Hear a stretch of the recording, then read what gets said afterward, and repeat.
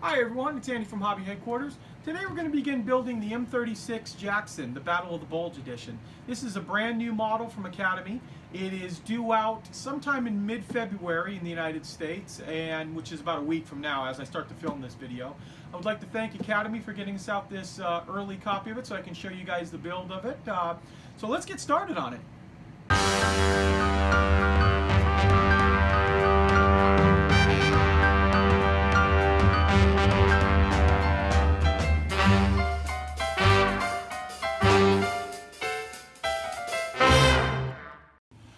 Okay, as we uh, start the construction, first off you'll notice is that it is a bathtub style hull and it's actually the same hull that the uh, M10, the GMC version that we built a while back was. So it's exactly the same that. So the sides and sponsons are all molded into shape.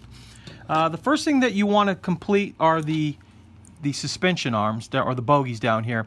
And this is just a little builder's tip. Uh, now these are fully workable and I wanted to show you them working before I glued it in place. If you decide to have the working suspension like that, a lot of times when you put the, the rubber band tracks these are, it'll have a tendency because they're a little bit tight to pull up the front or back wheel depending on what part of the vehicle it's on. So it won't lay down perfectly uh, flat a lot of times. So, and I want it to lay as flat as possible. So I'll will go back and glue this right into place. And it just requires putting a touch of uh, liquid cement on this spring inside here, and that'll lock it, keeping it flat, of course. But we'll do that once we attach it to the hull, and that way we'll get a nice flat surface on it.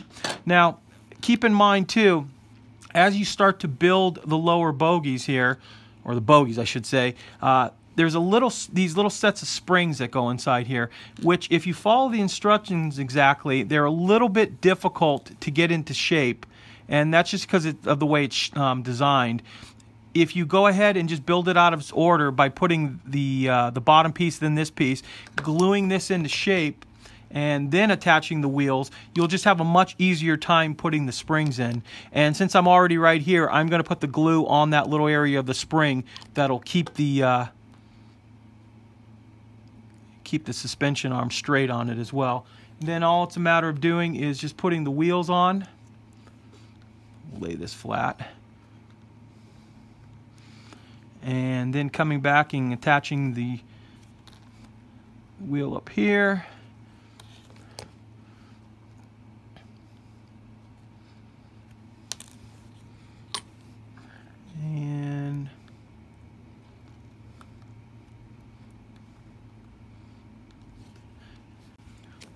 And then lastly, a little more glue on that. And then putting the outer piece on here. And you'll it'll just make them go together much, much quicker. Uh, I did start, like I said, I was going to put them and let them dry the other way, but you can also let them dry if you put the, soup, the glue on there, just making sure that they're perfectly flat. So I'm going to assemble all of the, uh, the lower bogies now, and we'll put those all together and we'll start attaching them to the hull.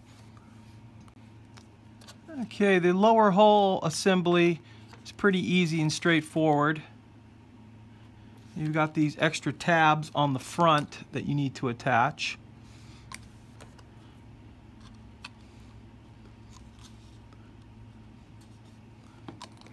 Should put a little extra glue to make sure they stay on nice and tight. And then on the back, you've got this tab, which holds the uh, return roller, or the excuse me, the idler wheel back there. So we'll glue those into place. And then once those parts have set up, you can go ahead and start attaching the bogies down here. Just remembering obviously that the, uh, the spring goes forward on this.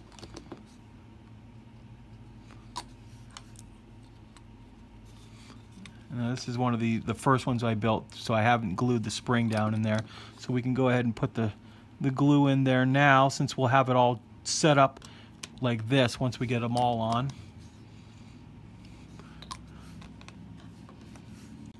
I've gone ahead and I've let the suspension dry now for about an hour so it's a nice uh, nice flat all, all the wheels are touching the ground. I started doing the drive sprocket uh, and attach this piece here but we're not going to glue this piece yet in. We can hold it in the shape here actually got it on backwards there. We could put this on into place and and leave it there, but I would advise not to glue it down yet. And because of the rubber band tracks, you want to make sure that you get this just right so it lines up with the teeth on the uh, the tracks as well. And then Okay, I've kind of jumped ahead a little bit here because this was pretty straightforward assembling the the interior. So the interior will just drop in in these sub-assemblies pops right into there. Then you have the rear firewall.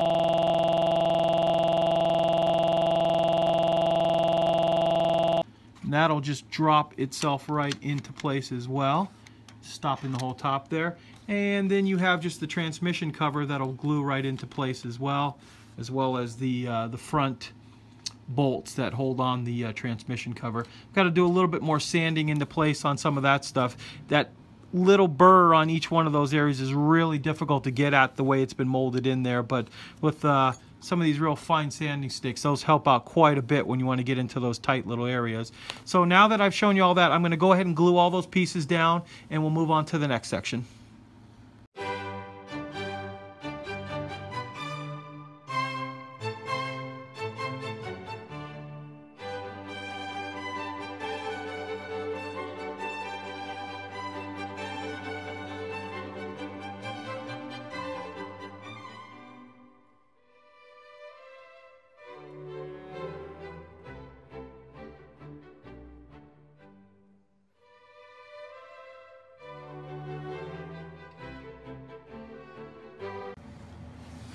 Okay, uh, I've assembled the, uh, the top part of the hull and we've put it into place here. And you might notice that part of it is now painted black.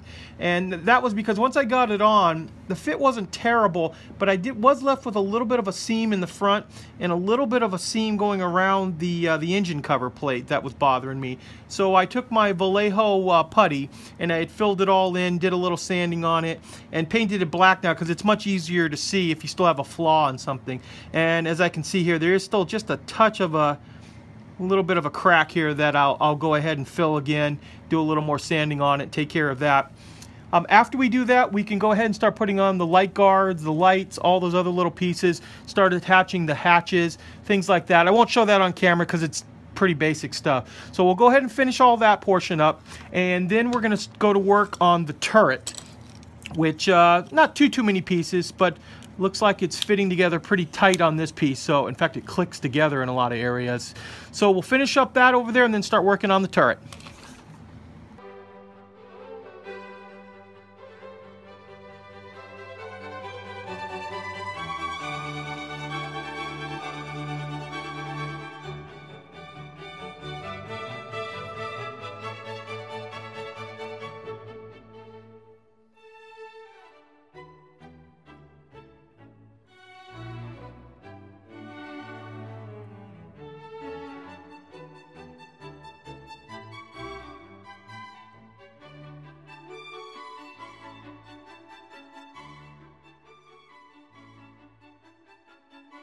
Bye.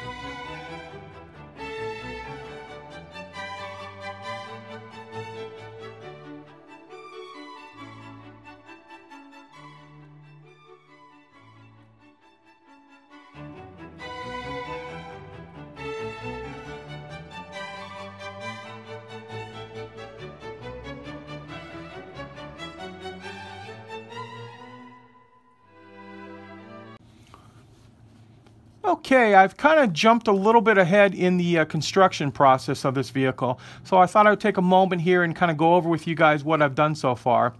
Uh, I went ahead and put all the hatches on, the light guards, the little lifting hooks, some of the brackets on the side here, as well as like the things like the, uh, the gas caps, all the brackets and stuff on the back, light guards, things like that.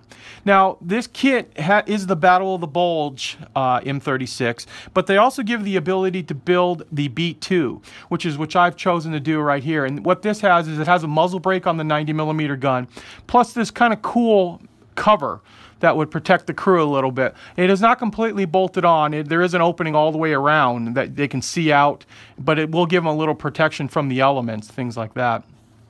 Now, as you can see, I've also painted the entire vehicle black because there are a few little flaws that I need to clean up, and the black is a great way of showing off uh, what you need to do some repair on. So what I thought I would do now is take a few minutes, start cleaning up some of those areas. We'll come back, we'll start putting a paint job on it, doing the tools, things like that. Okay, this is a uh, quick builder's note. Uh, after I got done filming and showing you guys the the, how the parts all looked. I decided I was going to dry fit the tracks into place. Now you may have noticed I had glued the uh, return, uh, the idler wheel, excuse me, on the back of the vehicle. And when you do that, because of the overhang of this armor plate, it's impossible to get these tracks on. So I ended up having to break these off. And then because of that, had to drill this out and put a new peg in there that we're going to put this on. But I wanted to tell you first, I thought I was going to be able to get it on just leaving the uh, drive sprocket off, but that is not the case. So definitely put the, uh, the tracks on before you put the upper hull together. Okay, I've got all of the uh, suspension back together and the tracks on and they're fitting nice and tight. Uh, since then I've gone over the entire vehicle with the white to do the black and white technique because we're going to spray the entire model now with XF62 Tamiya's olive drab. And we'll go ahead and do that right now. I've began to uh, put the, uh, the decals on and we're using Tamiya's Mark Fit Strong. And we've applied a little coat underneath the decal and then a little bit on top of the decal as per the instructions. And we're gonna let that kind of set up for a few moments, probably for about maybe five minutes. And just before it's completely dry, we're gonna take a cotton swab and just force any of the air bubbles out of it and it'll get a really, really strong adhesion to it.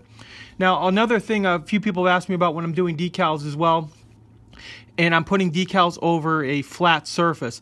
Uh, the dull coat is not completely 100% flat, first of all, and second of all, I usually go in that area and kind of polish it up with a paper towel to help it stick, but I found that especially for such small amount of decals, uh, it's easiest to put it on right over the dull coat, and then when you put another coat or two of dull coat over it, it's going to completely seal it, seal it in and get rid of any silvering that you might see on it. So we're going to let this dry, come back, and I'll show you what it looks like after it's dried and set up.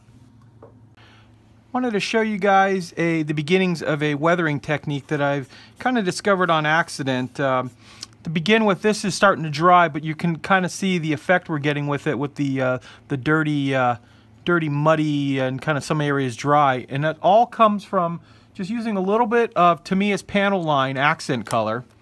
And you can kind of just blot it on kind of thick. Not even, uh, not even worrying about where it's going or anything like that. And then just using a little bit of our old standby, the Vallejo Pigments, the light sienna, and a big flat dry brush.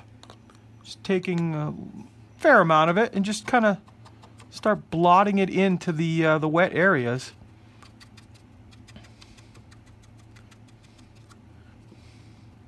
And we will do the same, uh, same effect on the tracks.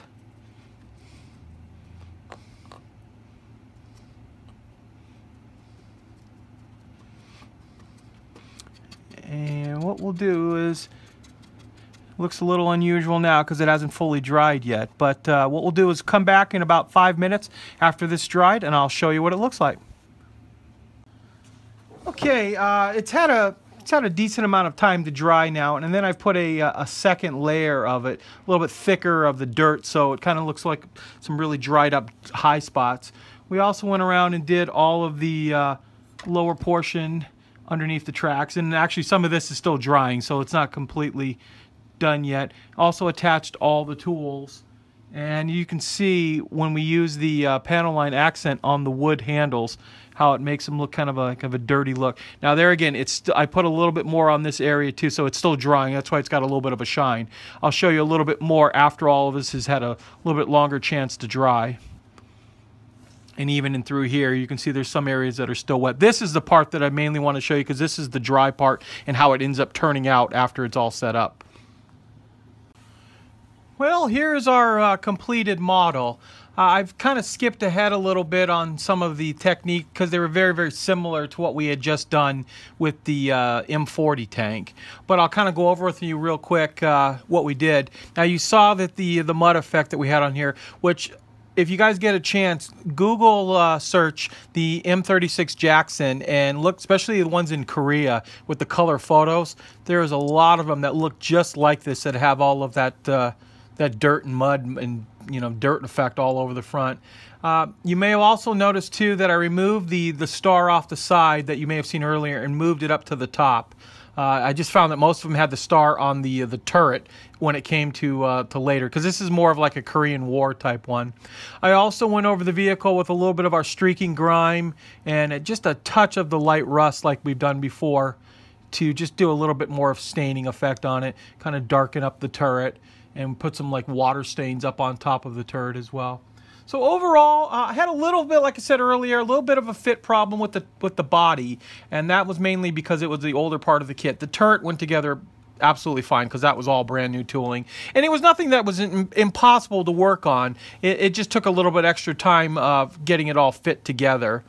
Uh, retail wise this kit only retails for about $40 in the US so it's, uh, it's an inexpensive kit. It actually builds up quite nice once it is done so uh, this is going to be a little bit shorter video than normal. I'm kind of getting ready for our big uh, model show at the end of the uh, the week. Which, uh, if any of you guys live in the Phoenix area uh, or near the Phoenix area, please stop on by. It's at for the uh, Canyon State Model Con 2. That'll be happening Saturday, February 25th. And I want to thank you, for, as always, for watching. And please stay tuned because we have more videos coming.